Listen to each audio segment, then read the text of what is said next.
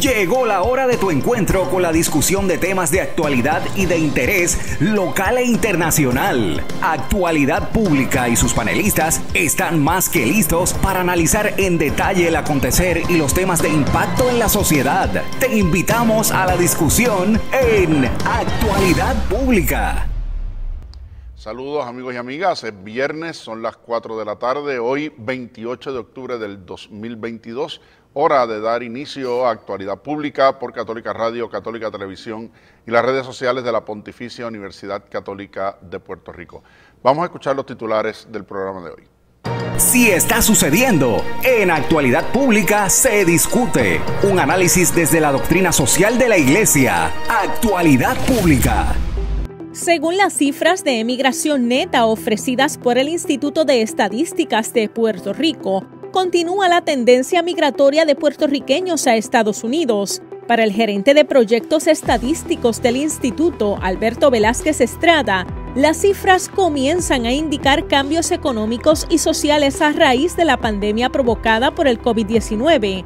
La razón principal para este éxodo, afirman, es la brecha salarial entre Estados Unidos y Puerto Rico. Expertos coinciden que el resultado ha sido la migración de un preocupante por ciento de profesionales la fuga de talentos, según afirmó la antropóloga y catedrática del Departamento de Ciencias Sociales de la Pontificia Universidad Católica de Puerto Rico, doctora Waleska Sanabria, en entrevista con El Nuevo Día, se debe particularmente a la ausencia de escalas salariales competitivas. Igualmente, las áreas de la salud, la educación, la tecnología y las ciencias han visto el impacto de esta deserción de talentos, lo que ha provocado cambios socioeconómicos que afectan el desarrollo futuro de Puerto Rico. ¿Qué estrategias podrían gestarse para detener este éxodo de profesionales? Una integración de los sectores públicos y privados podría ser la alternativa para analizar esta situación y buscarle soluciones. Son las 4 de la tarde, hora de comenzar Actualidad Pública. Tú necesitas saberlo y el doctor Jorge Iván Vélez Arocho, junto a su panel de expertos, te lo explican. Actualidad Pública. Como cada semana, les saluda y les da la bienvenida el licenciado José Frontera Ajenjo, vicepresidente de Asuntos Administrativos de la Pontificia Universidad Católica de Puerto Rico a ustedes y a los compañeros que nos acompañan en el panel. Está con nosotros en el día de hoy el doctor Jorge Iván Vélez Arocho, presidente de la universidad. Saludos, Jorge. Buenas tardes. Eh, muy buenas tardes, Josian. Buenas tardes, Leandro y la doctora Waleska Sanabria y nuestra distinguida audiencia. Un placer estar con ustedes de nuevo. Está con nosotros el doctor Leandro Colón Alicea, vicepresidente de Asuntos Académicos de la Universidad. Saludos, Leandro. Saludos, Josian, y un saludo muy cariñoso, muy afectuoso a, ese público que siempre nos sintoniza y una bienvenida este, muy eh, afectiva y, agradecida a la doctora Juárez Casanabria. Y como han mencionado los compañeros del panel, está con nosotros hoy la doctora Waleska Sanabria, quien es antropóloga, profesora en nuestro Colegio de Artes Humanidades y directora precisamente del departamento en el que eh, ejerce sus labores docentes. Así que bienvenida, Waleska, un placer tenerte con nosotros. No, muchas gracias al presidente, al doctor Leandro Colón y a Frontera por la invitación. Eh, una de las cosas que hemos estado hablando a lo largo de esta semana son los efectos que estos desastres naturales han tenido en nuestra isla y particularmente cómo incrementan las vulnerabilidades que hemos sufrido. Y una de las realidades que se ha dado con mayor connotación a partir de Irma María, los, terremotos, ha sido la fuga de personas de Puerto Rico a los, a los Estados Unidos. Incluso comentábamos en uno de los programas pasados que una de las dificultades de desarrollo del país que cuando las cosas se ponen difíciles, pues la mayoría de los puertorriqueños siempre tienen la opción de coger un avión y moverse a los Estados Unidos. No hay eh, restricciones ni controles en esa dirección y hay eh, muchísimas posibilidades, a pesar de los retos que como quiera se viven eh, al lado de allá. Durante la pandemia esa tendencia se aguantó un poco, pues todas las economías y todos los procesos estaban más o menos igual de detenidos, tanto aquí como allá. Y ahora con Fiona volvemos a ver cómo ese movimiento migratorio eh, está eh, dando, se está dando, ¿verdad? Y se está, y se está materializando. Recientemente, a principios de este semestre, en la universidad eh, presentó un estudio comisionado a la doctora Judy Rodríguez precisamente sobre el tema de la migración y los efectos en las tendencias demográficas eh, del país, que tuvimos la oportunidad de discutir aquí también en este espacio. Y esta semana, uno de los periódicos de eh, circulación principal en Puerto Rico tocaba este tema Ah, desde la perspectiva de cómo se ha aguantado un poco esa dinámica de migración, pero cuáles siguen siendo sus efectos y precisamente entre las personas que participan de ese, de ese reportaje y de la entrevista de fondo que hace el periódico son la doctora Judy Rodríguez y la doctora Wallace Casanabria que nos acompaña en el programa de hoy. Así que vamos a estar haciendo una mirada a ese fenómeno de la migración y sus efectos cuáles son algunas de sus causas, las conocemos, pero cuál es, su, el, cuál es el alcance de, esas causas y cómo eso va a afectar lo que está sucediendo y lo que estamos viviendo en la isla. Presidente. Sí, muchas gracias, Josian. Eh, a mí me gustaría eh, iniciar mi intervención, en primer lugar, solicitándole a la doctora Sanabria que nos hable un poco de usted, de su formación para que podamos quizás mejor valorar ¿verdad? sus experiencias. Ah, yo creo que siempre es importante para nuestro público que conozca el, calibre de los, facultativos que están en nuestra universidad y usted es una que ha tenido unas experiencias muy interesantes de formación a nivel universitario y a nivel, y a nivel profesional. Que comience por ahí y, si, y como parte, de, después que haga esa, esa intervención primera, ah, yo, le quería preguntar, eh, en este momento estamos sufriendo a nivel mundial una inflación realmente galopante, galopante. Eh, quiere decir que eh, en, todas partes del mundo el tema de la inflación es un tema preocupante. ese, ese tema de la inflación, en su, en su apreciación, usted piensa que va a llevar a que más personas emigren de Puerto Rico o por el contrario, ante una situación de, de, de inflación, si usted piensa que las personas van a tender a quedarse en Puerto Rico esperando que las condiciones mejoren. Ah, hoy en día los pasajes no son lo que eran anteriormente, o la renta de una vivienda, o la compra de una vivienda, o de un automóvil en, los Estados Unidos, por ejemplo. Así que esa sería mi, primera intervención, que nos hablara un poco de usted. Y después que si pudiera abordar el tema de la, de la inflación en su relación con la migración.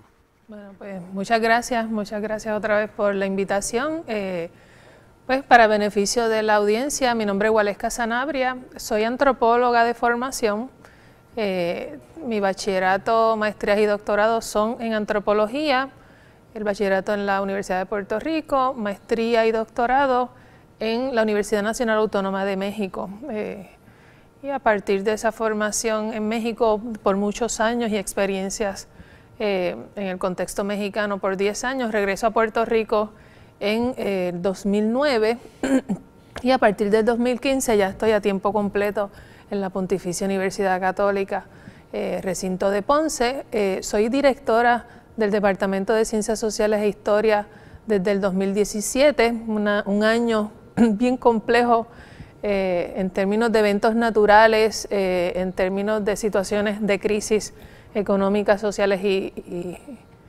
e históricas ¿no? en nuestro contexto particular.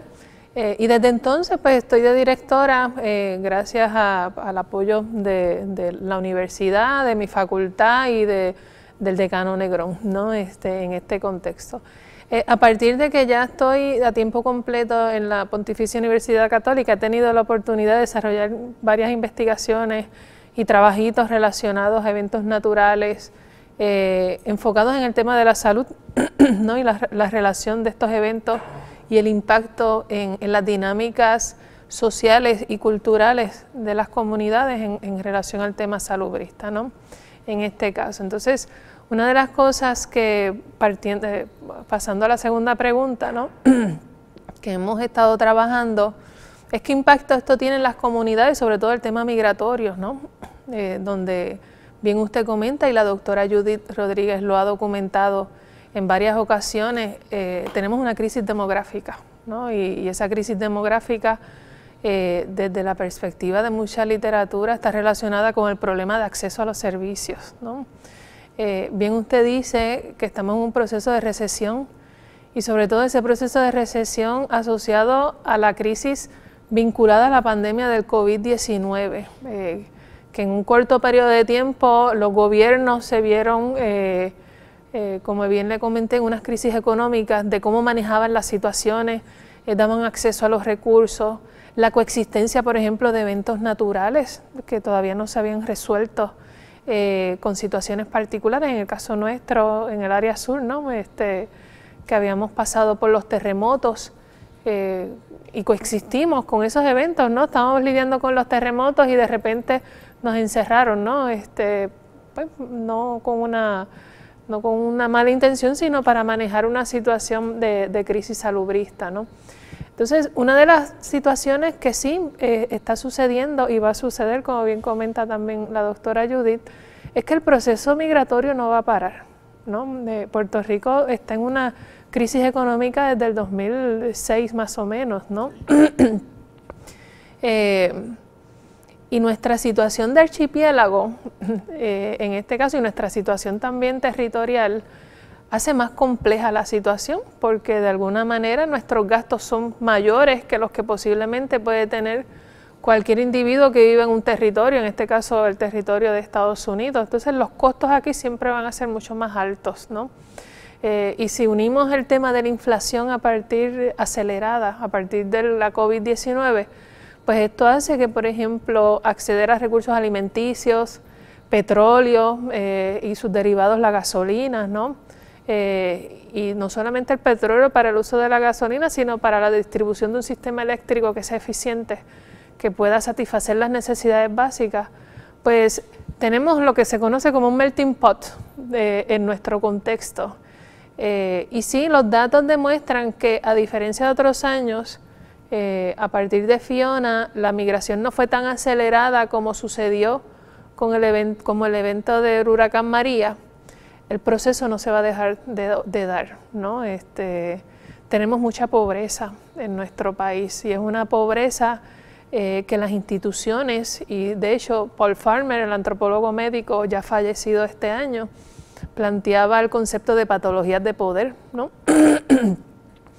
Cómo las instituciones, desde sus estructuras de poder, eh, crean o aplican ciertas situaciones eh, que no necesariamente pueden beneficiar a los más a los vulnerables o a las personas pobres en este caso. Y los vulnerables pues, podemos ser todos porque nos incluimos, ¿no? Todos estamos en el mismo barco, como decimos eh, coloquialmente en este caso.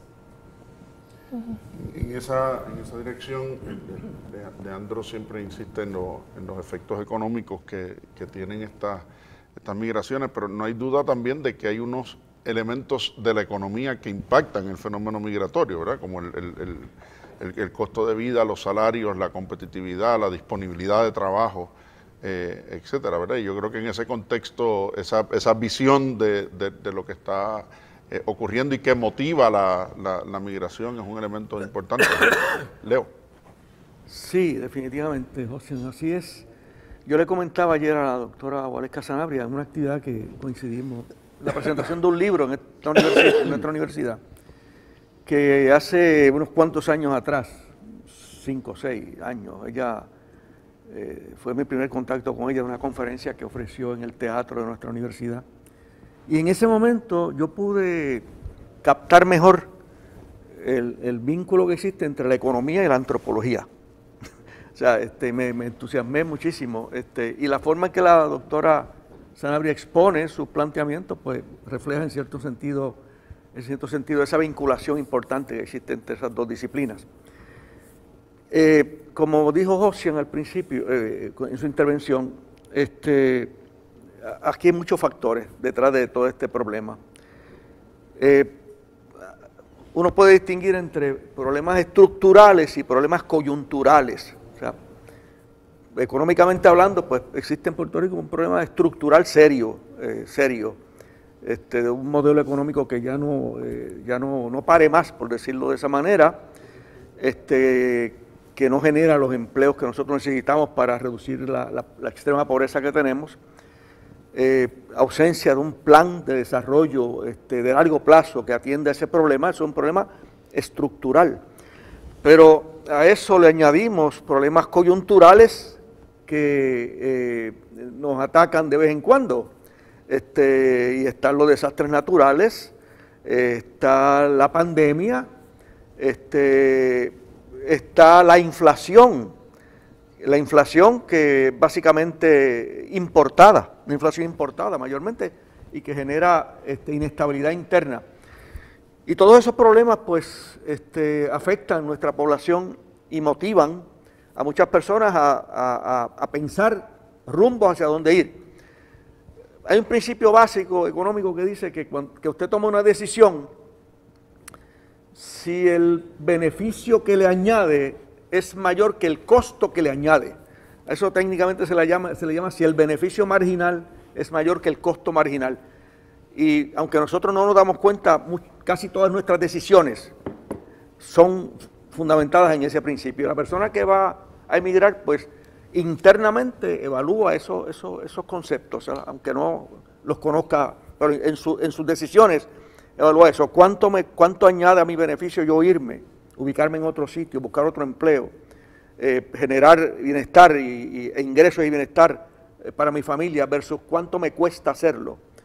Y obviamente, este, cuando ocurre una emigración neta eh, alta, pues muchas personas están diciéndose internamente que, el beneficio que eso me añade es mayor que el costo, pero que eso crea situaciones internas en el país. Hay un tema que se, en Puerto Rico no se debate tanto últimamente, pero que hace una, un tiempo atrás eh, surgieron algunos estudios sobre eso, que es lo que se le llama la fuga de, cerebro, de talento, ¿verdad?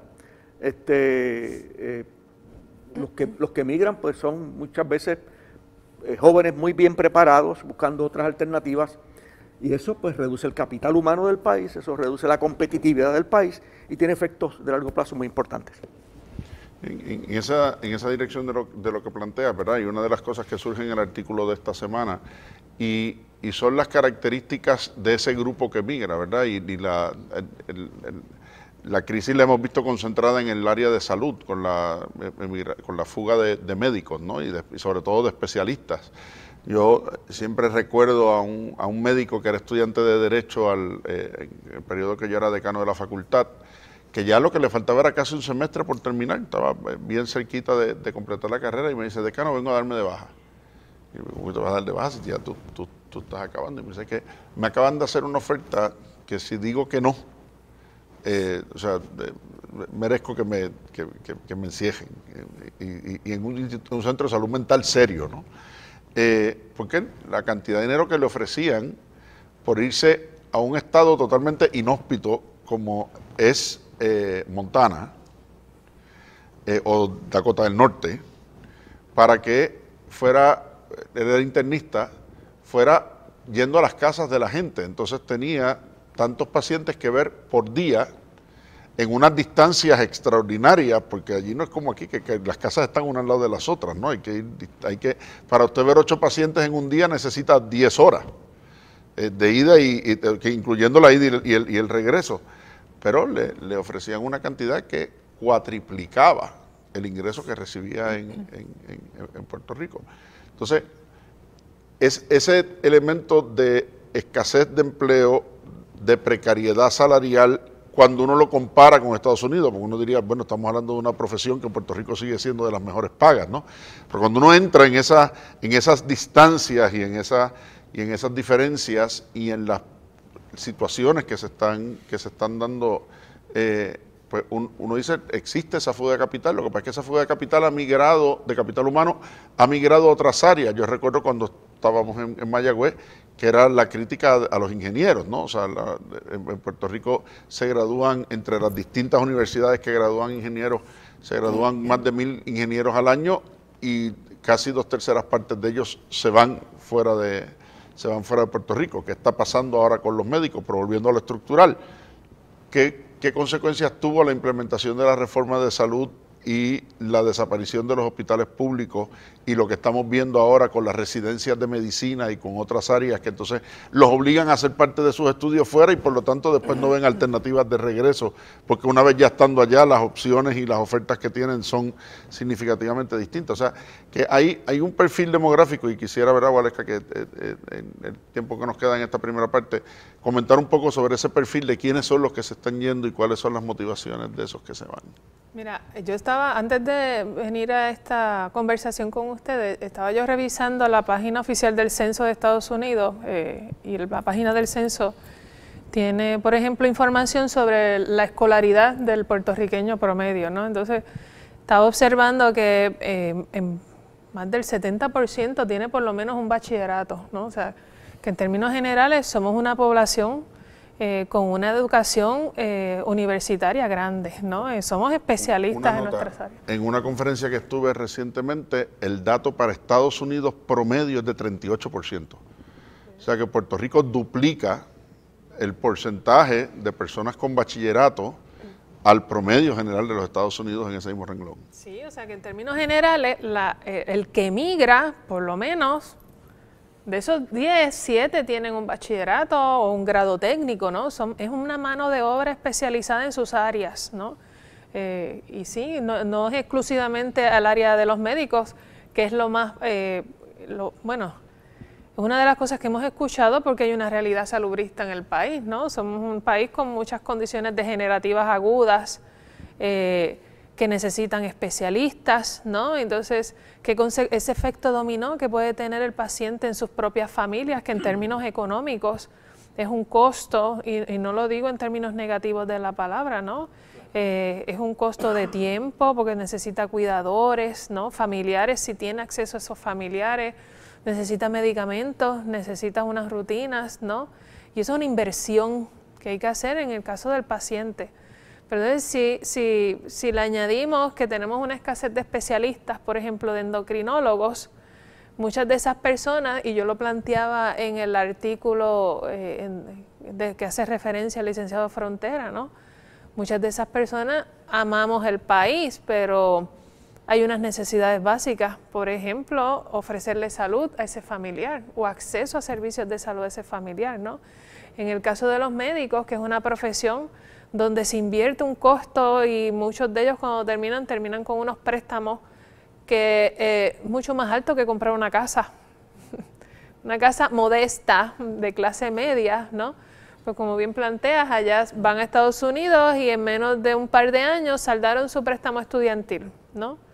Eh, no así si vienen a Puerto Rico, que por la situación laboral, las residencias, los hospitales, los problemas de las, eh, en el caso de las aseguradoras, ¿no? Si les dan permiso o no de, pertenecer a su plan, pues eso hace más complejo la situación. Entonces muchos de estos profesionales deciden irse y asumir el riesgo, ¿no?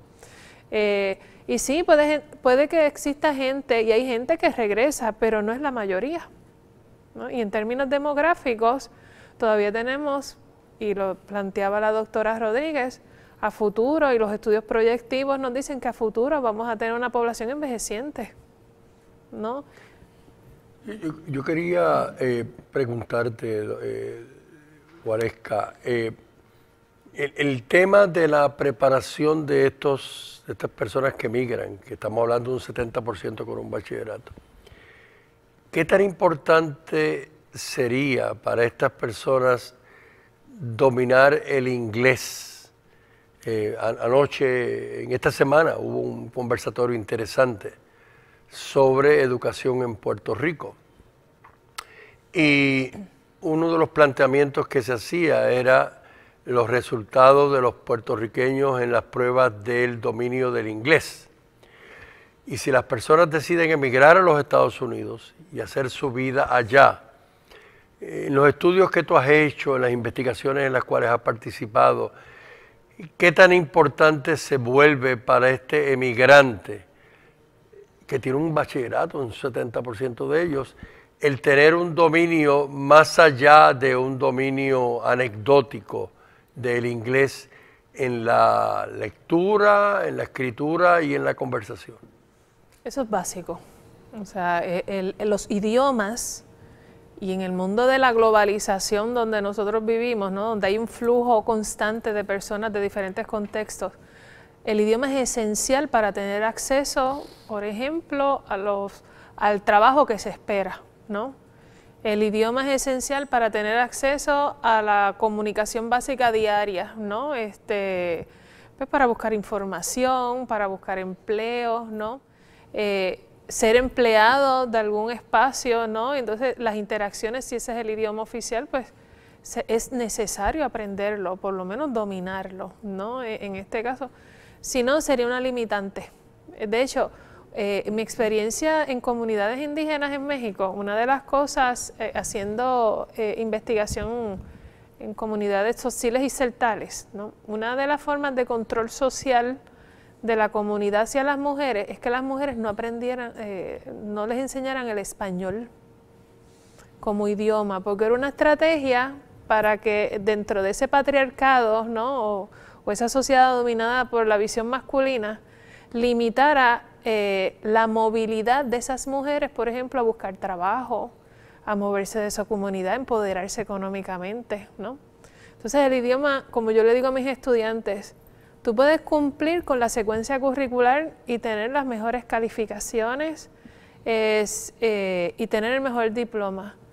Pero si al final no dominas el idioma, pues se te va a hacer bien complejo. En, en caso nuestro, que culturalmente hemos aprendido, socialmente hemos aprendido por casi siete generaciones a movernos y visualizarnos en Estados Unidos, pues si proyectas moverte se te va a hacer bien complejo, ¿no? Este, y serás muy bueno en tu disciplina, pero el idioma es esencial. Y, reconocer que saber más de un idioma, y en el caso particular nuestro, por nuestra relación política y económica con los Estados Unidos, eh, dominar el idioma, el inglés,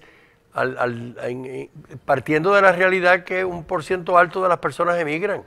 Así que si un por ciento alto de las personas emigran, eh, una plataforma que le permita a los estudiantes puertorriqueños eh, dominar el inglés, le hace buen servicio, se queden aquí o emigren a, fuera de Puerto Rico. Eh, la toma de decisiones que ellos tengan eh, siempre va a estar estructurada en el tipo de educación, pero también, como dirían los psicólogos, en la inteligencia emocional que puedan tener para enfrentar ese mundo nuevo que para ellos es el contexto norteamericano, que es un contexto multiétnico, ¿no?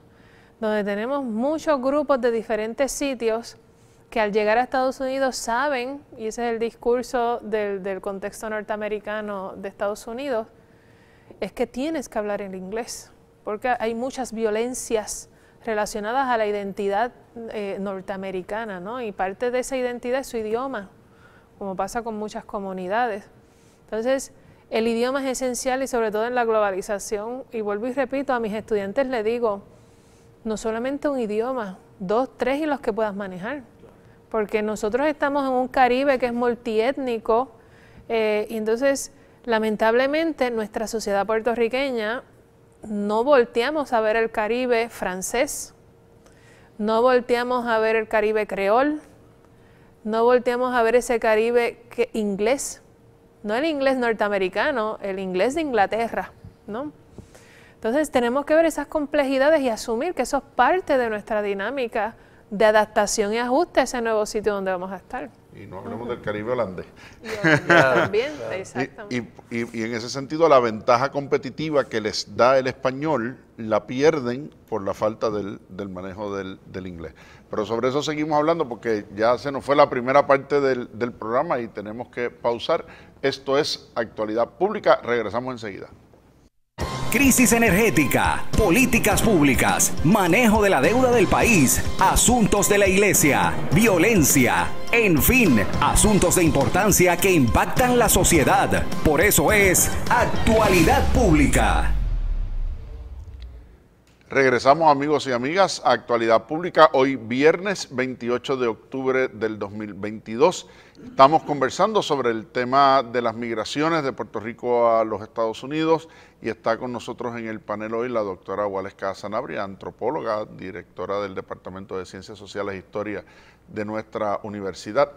Yo quisiera retomar algo que, que mencionaba la doctora Sanabria antes de irnos a la pausa y es el choque del puertorriqueño que se muda a los Estados Unidos y se encuentra con una realidad cultural, no solamente idiomática, sino también cultural y en algunos casos de violencia frente a las diferencias, que no es eh, esta visión idealista ¿no? del mundo perfecto eh, que se vive, que alguna gente piensa que se vive eh, en, en todas partes de los Estados Unidos, que hay lugares en los que sí y hay otros en los que la realidad puede ser igual o peor que la, que, la nuestra. Y, esa, y, ese choque de adaptación lo que representa también para el que va buscando esa mejora en su situación personal, económica, familiar, cuando llega, cuando llega allá. Sí, no, este, retomando parte de las conversaciones que teníamos eh, hace un rato, ¿no? Eh, recuerdo en la conversación que tuve en el periódico local sobre el tema de la migración y, los, y las causas de la migración, ¿no? Este, una de las cosas que yo comentaba es que el puertorriqueño migra consciente de las realidades que pasan en Estados Unidos, ¿no? Eh, tenemos acceso no solamente a tecnología y las noticias, sino a los familiares que históricamente se han asentado en Estados Unidos y viven esas violencias que esas violencias incluyen, pues, por ser de un grupo étnico particular, racial particular, religioso. Eh, lamentablemente, eh, a partir de la presidencia de Donald Trump, eso se hizo mucho más público, ¿no? Eh, este, y como que de alguna manera la propia sociedad norteamericana lo aceptó como si fuera una norma, ¿no? pero el puertorriqueño es consciente, es consciente de esas situaciones. Y en este caso hablábamos de los costos y beneficios, ¿no? Eh, hay unas situaciones locales económicas que están asociadas eh, o tienen como consecuencia muchas frustraciones colectivas. Y el cansancio colectivo que hemos estado viviendo del 2006 para acá con estas crisis múltiples, compuestas, ¿no? Y como dicen los teóricos, eh, los, los efectos cascadas de esas crisis, ¿no? Que ya muchas personas no aguantan, ¿no? E, emocionalmente están drenados y prefieren de alguna manera asumir el riesgo de, esos, de esas agresiones, ¿no? Por eso la toma de decisiones a dónde vivir, porque ya vemos espacios no tradicionales de migración. Históricamente en los 50, más o menos 60, eran las ciudades como Nueva York, ¿no? Después del evento del 11 de septiembre, ese movimiento se dio hacia el sur, Orlando, Florida, ¿no? Después de las crisis de vivienda en el 2008 en Estados Unidos y la crisis económica de Puerto Rico, pues ya tú puedes ver los datos de ese movimiento de personas a estados no tradicionales, que aunque habías mencionado que son, es montana y hay una distancia y como yo le digo a los muchachos, ¿no? Ves fincas ves cultivos, ves maíz, ves ganado. Pero no ves gente. No ves gente. Y, la, y, y de alguna manera, tranquilidad, entre comillas, ¿no? Porque a lo mejor le puede ofrecer servicio a ese paciente, pero no lo vas a ver, qué sé yo, diario, ¿no? Eh, las aglomeraciones en la planificación urbana no son las mismas como pueden presentarse en una ciudad como Nueva York que lamentablemente durante la pandemia y después de la pandemia aumentaron las tensiones sociales y ya se dice que los niveles de violencia son bien parecidos a los de los 70 y 80, donde la propia ciudad tenía una crisis económica grave, ¿no? Eh, y aparte de lo que estamos evidenciando ahora, en la crisis migratoria que tiene la frontera sur de Estados Unidos, que ya el gobierno no da abasto en refugios, pues ya han creado refugios en la ciudad de Nueva York para eh, darle espacio a estas personas eh, que por X o Y razón, eh, en este caso las situaciones de violencia y pobreza extrema de países hermanos centroamericanos y suramericanos están viviendo, ¿no? Entonces, vamos a ver un patrón de movimiento migratorio hacia espacios no tradicionales, ¿no? Eh, y de hecho, yo estaba conversando con un amigo que vive en Texas, ¿no? Y, me dice, fue una expresión que de alguna manera uno le crea tristeza, ¿no? Pero uno dice, mira, es que es lo que estamos viviendo. Me dice, estoy en Texas y estoy tranquilo.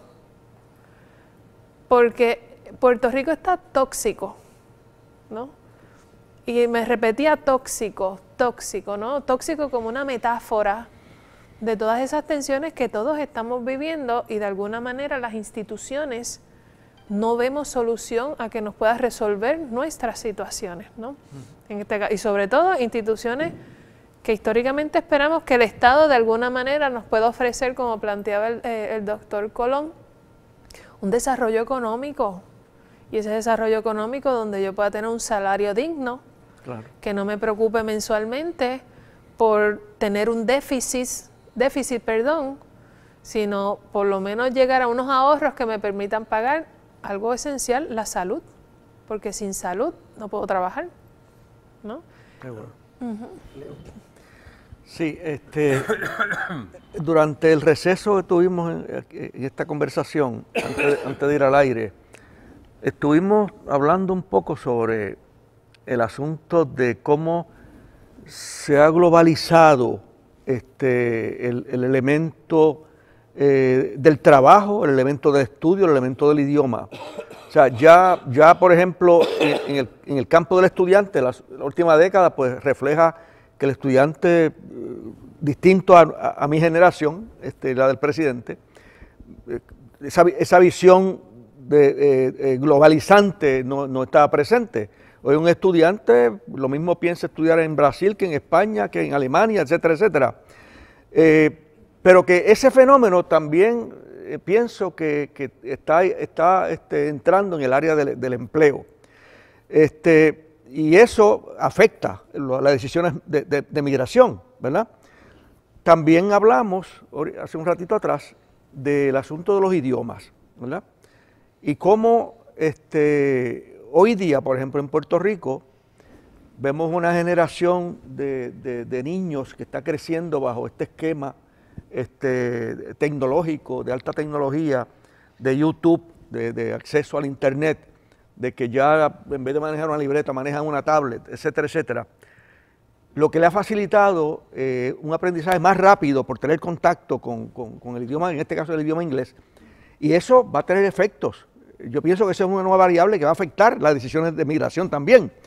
Porque eh, en mi época, por ejemplo, este, el idioma eh, era mucho más restrictivo, era una variable de más que, más pensamiento había que darle cuando lo pero ya eventualmente esa no va a ser una variable importante al momento de tomar decisiones de hacia dónde me voy, ¿verdad? Sí, este, miren, la forma, en la forma en que nosotros aprendimos el idioma desde las, desde las escuelas fue violenta. ¿No? Como yo, como, como diría Michel Foucault, bajo estrategias de vigilar y castigar, ¿no? Este, y eso ha creado como un miedo a aprender el idioma porque lo asociamos eh, mentalmente a esas experiencias negativas que posiblemente lo aprendimos en las escuelas, ¿no? Y la violencia puede ser de muchas formas, ¿no? Este, y, y, esas tensiones emocionales. Y el concepto de generación es bien importante porque, por ejemplo, de más o menos del 2000, 2010 a la fecha, el acceso a la tecnología se ha hecho mucho más fácil para toda la comunidad, ¿no? Entonces, hablábamos ahorita que la generación Z nació con un celular en la mano o una tablet en la mano. Es un espacio como más fluido y más tranquilo, no tienes esas tensiones del como puedes tener en la escuela del aprendizaje, ¿no? En este caso. Y lo hablo de la escuela en términos generales porque pues eh, como institución ¿no? creada ¿no? bajo un modelo tradicional, que de ahí hay muchas corrientes teóricas de, los modelos tradicionales escolares. Entonces, esto, esto es fluido, es mucho más relajado. Entonces, los niños desde que nacen tienen, están expuestos a aplicaciones o a páginas con imágenes y cosas que les son empáticas o les gusta, ¿no? Entonces, esa generación Z que es tecnológica, y mencionaba eh, ahorita el caso personal de mi hijo, ¿no? Eh, aprendieron el idioma de manera tan fácil se apropiaron de él, que ahora esa generación eh, tiene ahora sí problemas para procesar el español. ¿no? Lo saben porque lo hablan, pero se sienten más cómodos dialogando entre ellos en el idioma inglés. ¿no? Para ellos su primer idioma, no por la relación de nosotros como país, sino por el acceso a esa tecnología. Entonces, es, una generación, y, aquí no generalizo tampoco, porque eso va a depender del grupo social y la educación de cada cual, ¿no? Y volvemos otra vez al acceso a los recursos. Pero en este caso es una generación que la identidad es globalizada. Se saben puertorriqueños, pero se ven en la globalización. Se visualizan en la migración. Se visualizan aprendiendo y conociendo otras personas, ¿no? Eh, y posiblemente se les hace mucho más fácil que a otros grupos conocer esas identidades múltiples, ¿no? Identidades por, origen étnico, por origen racial, por eh, preferencias de género o de géneros, en este caso. Entonces ellos tienen esta facilidad de comunicarse, socializar eh, y tienen una conciencia identitaria bien diferente a la que posiblemente la tenían los boomers, XY o la propia millennial. Y me resulta interesante eso que mencionaste de de que ese aprendizaje, en particular del inglés, tuvo algo de violencia en esas generaciones anteriores, cosas que no existe ahora. Y quizás, hablando como los locos, quizás eso explica en cierta medida por qué, a pesar de que desde primer grado está el inglés presente hasta cuarto año, en muchas ocasiones no se, no se, no se aprendió este, de la manera que se esperaba. Y aquí hubo un efecto interesante, y es que estuvo asociado el idioma inglés, no al idioma en su esencia, sino a su relación con los Estados Unidos, donde había un elemento político claro, fuerte, claro, fuerte. claro, claro, eh, consciente o inconscientemente asociaban una cosa con la otra y por lo tanto fue un proceso atropellado, como menciona, la doctora Sanabria. A, mí me gustaría, si me permite, eh, escuchar de usted eh, una, sus impresiones sobre el tema de la diáspora. Uno escucha con frecuencia ¿eh? que existe la diáspora puertorriqueña, la que está en los Estados Unidos. Entonces yo le preguntaría, en su opinión, ¿existe la diáspora? ¿O la diáspora es una, es una realidad de que de verdad existe una diáspora? ¿Cómo la definimos esa diáspora? ¿O es la diáspora de la manera como se maneja en el lenguaje coloquial, normal, común y corriente, una, una construcción, una construcción. Ah, ¿Cómo entendemos ese grupo de puertorriqueños que está fuera, que algunas personas lo representan como la diáspora, pero en realidad existe la diáspora o existen eh, grupos y comunidades de puertorriqueños viviendo en los Estados Unidos? Eso ha sido siempre un debate, el concepto de diáspora, ¿no? Porque generalmente en alguna conversación con, pues, compañeros, ¿no? Este, bien interesante cómo nos, nosotros nos identificamos como emigrantes. No decimos somos emigrantes, ¿no? O soy un desplazado. El concepto de diáspora se ha redefinido desde esta nostalgia de este grupo que se ha movido al espacio norteamericano, pero tendríamos que analizar quién construye eh, ese, concepto, ¿no? Eh, yo lo asumiría como un concepto, lo definiría, ¿no? Como un concepto vinculado a la nostalgia de ese pasado que dejé, que viví, o posiblemente un pasado no vivido, porque hay personas que se identifican como puertorriqueños y posible por X o Y razón. Y ya son de segunda o tercera generación. o cuarta y no han podido venir a Puerto Rico porque económicamente no pueden eh, viajar constantemente al país, ¿no? Porque sabemos que si vamos a Estados Unidos, las dinámicas laborales, sus horarios y, y, y todo lo que tiene que ver con el contexto laboral limitan la posibilidad de regresar a Puerto Pero emocionalmente está la conexión. Hay una conexión emocional porque en Estados Unidos sabemos que hay varias generaciones de puertorriqueños que salieron de aquí, se asentaron allá y bajo sus narrativas y discursos reproducen esa nostalgia del pueblo que dejaron. En mi viejo San Juan. En mi viejo San Juan o el pueblo particular que dejaron, ¿no? Este, esa nostalgia de la familia, de los abuelos, de la comida, ¿no? Eh, de las prácticas rituales o festividades, por ejemplo las navidades, ¿no? Eh, y entonces eso se reproduce, las generaciones lo aprenden, lo construyen como parte de su identidad en un país donde hay choques identitarios, porque cada cual va a querer imponer de alguna manera sus formas de, identidad, porque todo tiene que ver con relaciones de poder, ¿no? Doctora, discúlpeme, y yo he escuchado, y quizás pueda aclarar este punto, que diáspora es cuando hay el despegue completo. No solamente físico, sino es emocional, cosa que no existe ahora y por lo tanto esto no es diáspora. Yo he escuchado ese planteamiento. Exacto, no, siempre hay una conexión e interconexión porque, por ejemplo, volvemos a la tecnología. La tecnología ha facilitado que nosotros podamos construir unos grupos virtuales en donde mantengan esos lazos con esos abuelos, con esos familiares o con ese Puerto Rico que yo estoy construyendo en mi memoria, ¿no? Aunque no lo esté experimentando físicamente, pero sí lo estoy experimentando a partir de la memoria del otro, ¿no? Y esa necesidad del otro. Y volvemos a los eventos naturales. Por ejemplo, en el caso del huracán María, eh, que fue un evento catastrófico para el país, ¿no? Nunca habíamos visto, y lo sabemos, un huracán de ese tipo.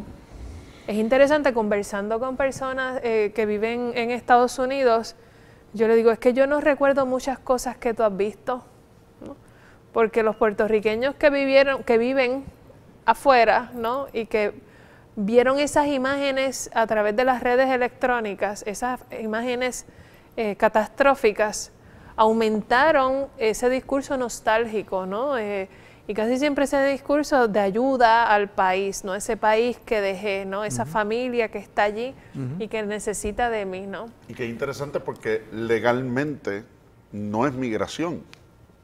Claro. es más, en Estados Unidos la gente que se muda de un estado a otro no dice migré.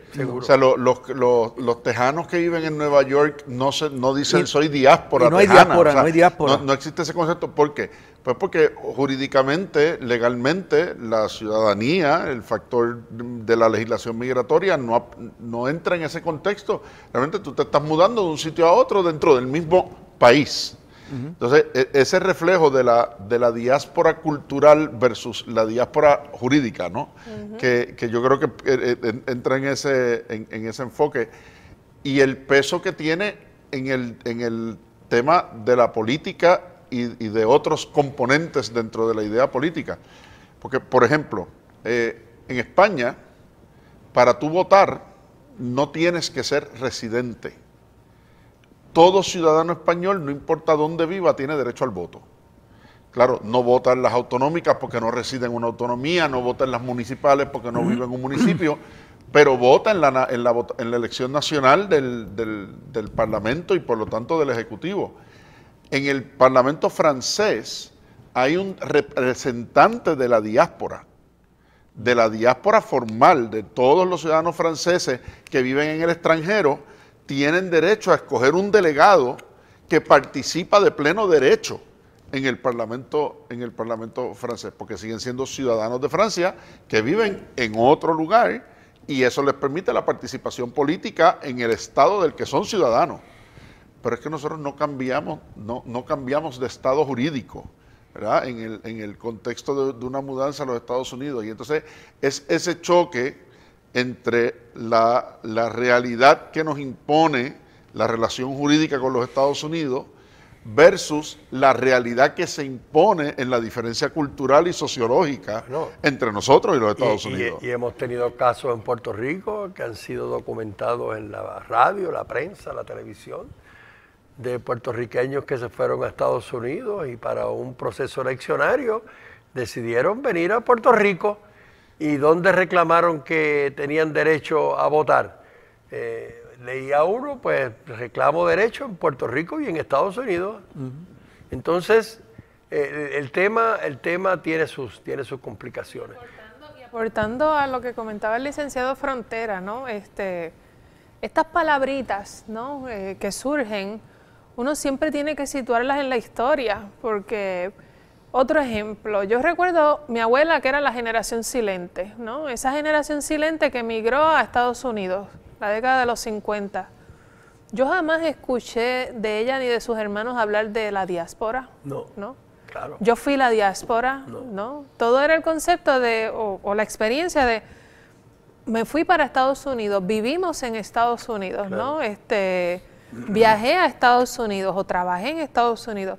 Entonces, esos conceptos históricamente situados hay que, hay que cuestionarse desde dónde se generan, quién los genera y cuáles son los intereses particulares de esos, ¿no? Este, en este sentido, que no necesariamente va a representar a todo el que vive, en el caso eh, de los puertorriqueños que viven en Estados Unidos. Yo, tu- yo tuve una experiencia, eh, era como 25 años atrás, yo para esa época codirigía un centro hemisférico en el Colegio de Mayagüez, que tuve la oportunidad de codirigir por, por 11 años.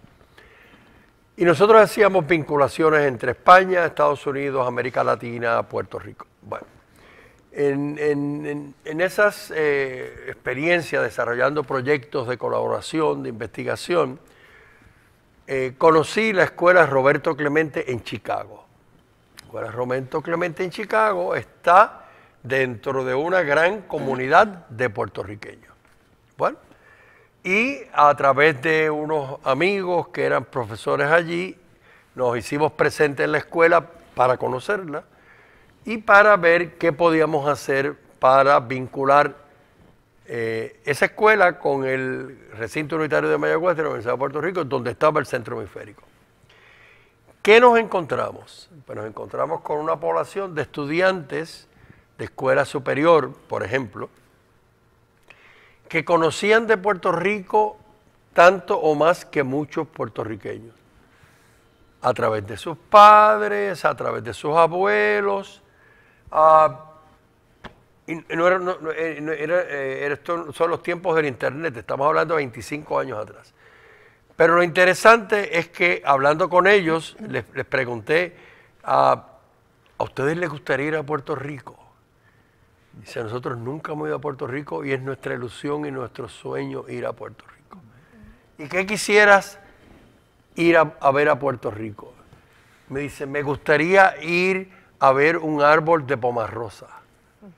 Me gustaría eh, bañarme debajo de una chorra y utilizar las, las- las expresiones, las palabras. Bueno, pues ni corto ni perezoso, en nada montamos un viaje con 35 estudiantes de escuela superior, con sus maestros, que vinieron a Puerto Rico a hacer una experiencia de 10 días. Les puedo compartir que se nos saltaron las lágrimas cuando vimos a aquellos jóvenes disfrutando de aquello que ellos habían escuchado, de aquello de que ellos habían escuchado los cuentos, la música, cuando pudieron caminar por una finca y ver un árbol de café y aspirar el aroma de, la, de, de- de- de una planta de café eh, con flores. Realmente impresionante. Regresa ese primer grupo y había que ver las experiencias de ellos compartiendo con los otros. Tienes que ir a vivir lo que es realmente Puerto Rico. O sea, esa vinculación personal, sentimental, es bien fuerte. Es esa, es esa diáspora del sentimiento y de la cultura Sí, que, que- que está, que está ahí presente. Pero que no pasa como, y, y quizás en eso, bueno, es que no, no pasa como con otras diásporas, que entonces me voy por lo que mando de vuelta y me voy por lo que voy a pasar a los que están en casa, ¿no? O sea, es, es- esa, porque el- el- la- las transferencias no reflejan que, que sea, que, que sea una diáspora en esa dirección, ¿verdad? Como Claro, pasa seguro. con la migración centroamericana, con la migración... Y esta migración centroamericana y norteamericana que incluye México, ellos n- no vamos a escuchar el concepto de diáspora. Eso es muy particular de, de- de- del discurso de ciertos grupos en Puerto Rico, ¿no? Este, o que viven en Estados Unidos también. Ellos van a hablar de migrantes. Yo soy migrante, ¿no? Yo migro. Y, y- y con esa palabra eh, se define todo, ¿no? Su situación legal, ilegal, difícil, ¿no? Compleja, eh, con muchos retos en este caso. Yo- la- el tiempo nos traiciona y quisiéramos poder hablar de muchas otras cosas como y, y- y qué cómo uno responde a, la- Claro. a esa migración y qué alternativas hay frente a migración, pero eh, como siempre la metodología es ver, juzgar y actuar. Hoy hemos estado aquí en el ver y en el juzgar, el actuar lo tendremos que dejar para una próxima ocasión, por lo cual queda usted debidamente emplazada a, una futura invitación a acompañarnos aquí en, en actualidad pública. Es un tema que tiene hilos y, y, telas para, para Tenemos una persona con mucha experiencia en ese campo. Así que ya lo pondremos, lo, lo, tendremos presente en, en, nuestra agenda. Y a, todos ustedes les recordamos que mañana a las 6 de la tarde tendremos aquí en la universidad a la Orquesta Sinfónica de Puerto Rico, totalmente libre de costo, y a el conjunto de conciertos del Instituto de Música Morel Campos en un concierto eh, abierto a toda la comunidad, libre de costo, para que podamos tener un espacio también de disfrute de, buena música. El programa es extraordinario, estoy consciente y seguro de que lo van a disfrutar. Así que los, los, esperamos a todos mañana en el Complejo Deportivo Cultural de nuestro recinto de Ponce y por supuesto aquí la semana que viene, viernes a las 4 por actualidad pública. Hasta entonces. Esto es Actualidad Pública, una producción de la Pontificia Universidad Católica de Puerto Rico.